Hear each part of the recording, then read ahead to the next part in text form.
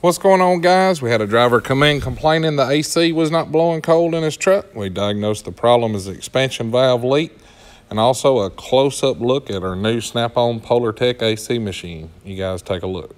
in the country that I know. No money in what he used to grow. No, he don't care what people think.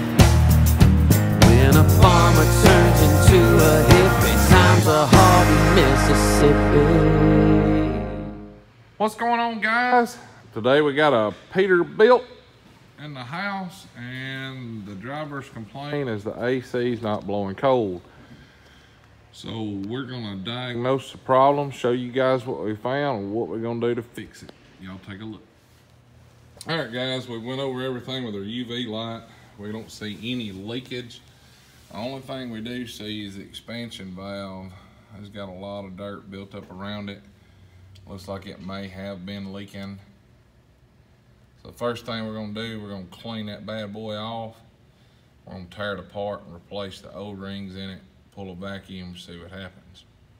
So we got our machine already hooked up and uh, we've recovered what freon it we had. It was just a touch over a pound, supposed to be four pounds in it. So we're gonna uh, go ahead and get this thing cleaned off and we'll show you guys what's going on. All right, guys, we got the uh, expansion valve cleaned off. You can tell it looks a whole lot better. So we're gonna give that a second to air dry, and then we're gonna get in here and tear it apart. All right, as you can see, the breather box is gonna be in the way for trying to get those bolts right there out. So first thing we're gonna do is yank this breather box off here, and that way we can get to everything. So we'll get that done show you guys what that looks like. All right, guys, you can see we got the uh, air box off there. So we fix to cover that up, keep all the dirt and the goblins and gremlins from getting in there.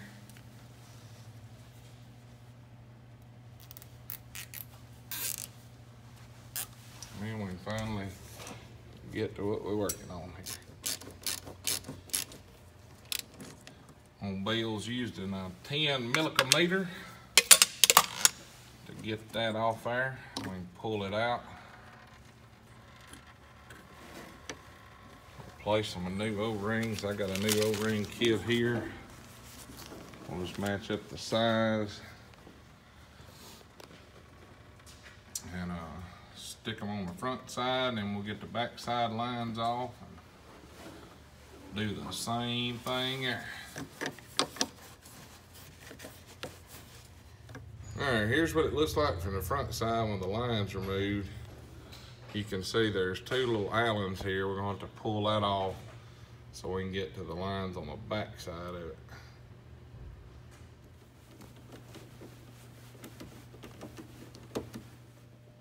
All right, we got it off there. That's the back side. These are the two O-rings that come off of it. As you can see, it looks like it may have a little nick or chew mark on it. There's the two off the lines. So what we're gonna do now, we're just gonna match them up. Look here, boys. I'm using Mack genuine parts on a Peter car. Get them cheaper from my dealer there. Anyway, so we're gonna go through here. We're gonna find the four that's gonna match up the closest and we'll stick it all back together. Y'all take a look. Alrighty, I dug through my little pack. You can see these right here are the same size as the old ones. Same way with this one. These are the two new ones, there's two old ones. So what I'm planning on doing now is trying to clean this grit and stuff out. You can see it's got a little dirt up here in the top. Clean all this up good and then we'll be ready to try her back. All right, you can see she look more better now. Got both sides clean. So we're gonna take it back over there to the truck. Give her a trial fit. Stick O-rings on, see what happens.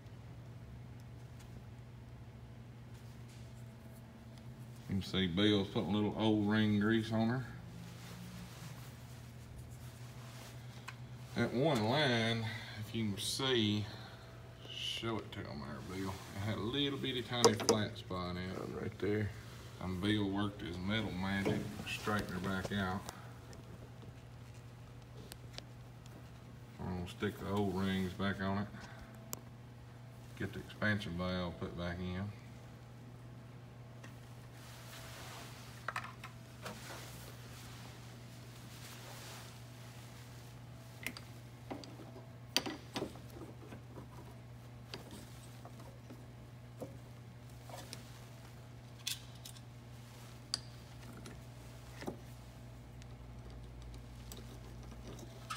Get the little Allen screws put back in it, and then we'll get the front side put on, get the two plugs back on the top, and we'll see what happens at that. All right, before I tighten these bolts down on the front to hold the expansion valve on, I'm gonna come up here and, and look, make sure the lines are going in there straight.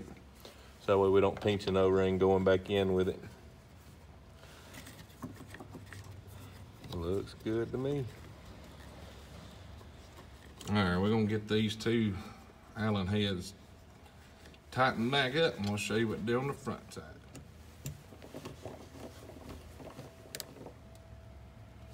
All right, folks, these screws are small. You don't want to put too much torque on them and end up breaking them off, stretching them out.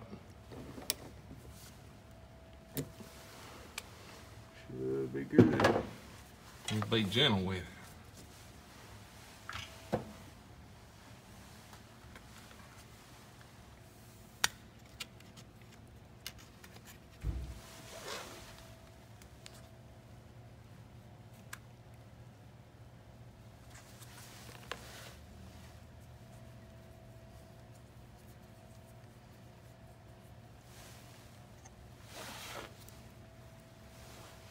Make sure you got all the dirt cleaned off the lines.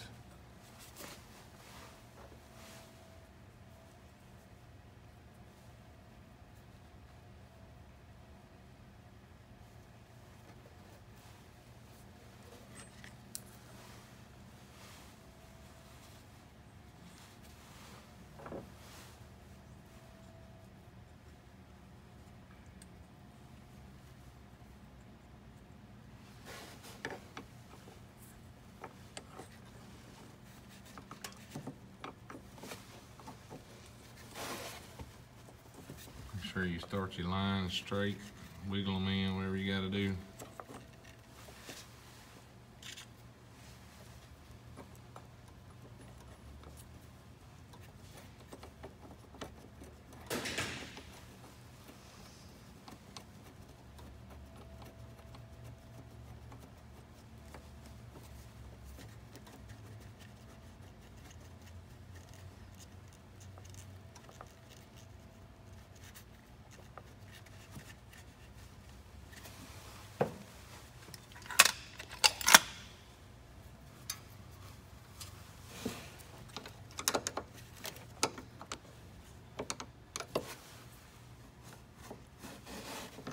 You ain't got a whole lot of room you can move around with this.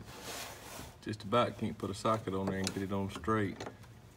I'm using a wrench to tighten it down.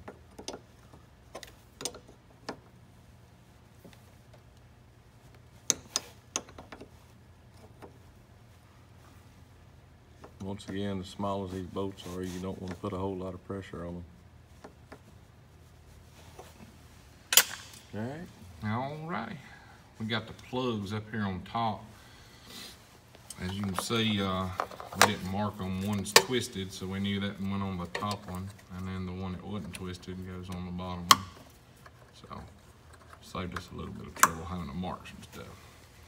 All right, we got that back together. We're gonna go over here to our AC machine. We'll show you guys what's next. All right, well, we're here at our Snap-on PolarTek machine. I'm gonna go ahead and have it do a vacuum. I got it in manual procedure. Pull a 25 minute vacuum and have it checked for five minutes. We always use the trip number instead of uh, a license plate number.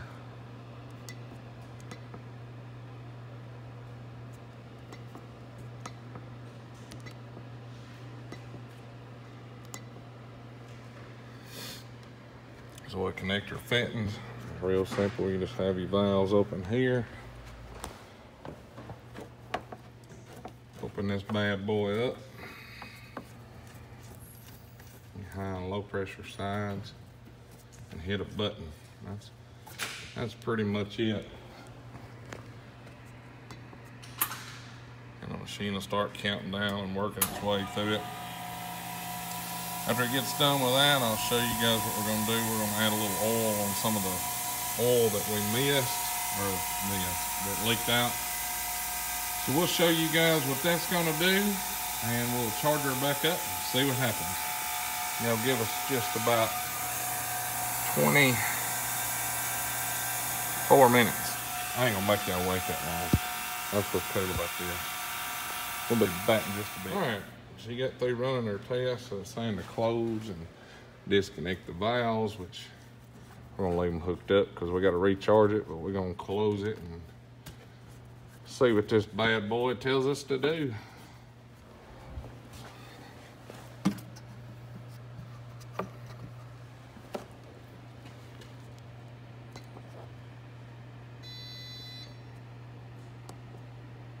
Well, she passed. So we're gonna get her charged back up. I'll show you guys what all that looks like. All right, what I'm gonna do now is go ahead and shoot a little oil back in it since we did lose some. We're gonna have it to do uh, one ounce.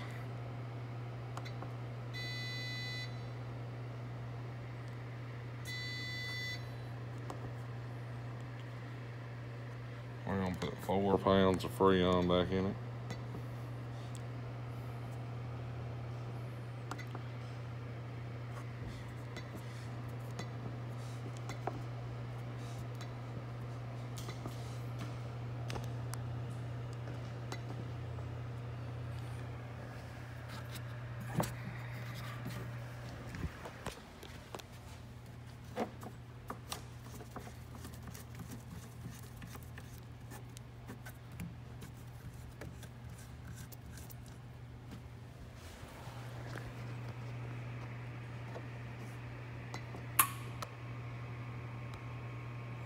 And that's it.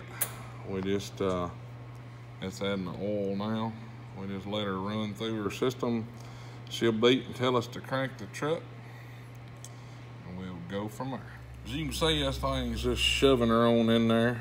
When it goes to the next step, it's gonna ask us to crank the truck up, turn on the AC, and I will uh, let you guys see what that looks like. Right, as you it, see it saying disconnect the high pressure coupling, start AC system with low pressure coupling connected and press enter. So we gonna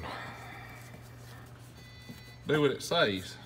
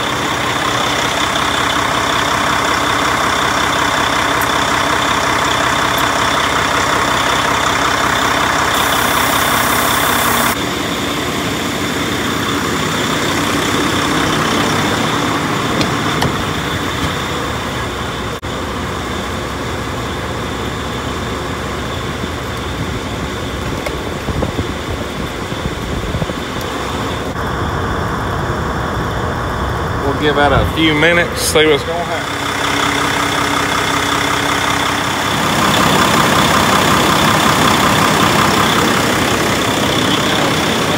Pressure's running.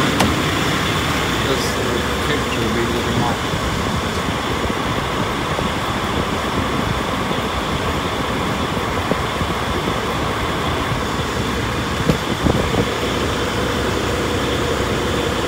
I'm between 40 and 50 degrees, so that should make a driver happy. So anyway, that's how you change the O-rings on your expansion valve, guys. Like always, if you like this video, hit that thumbs up button and hit that subscribe down below. You guys have a great one. We'll catch you next.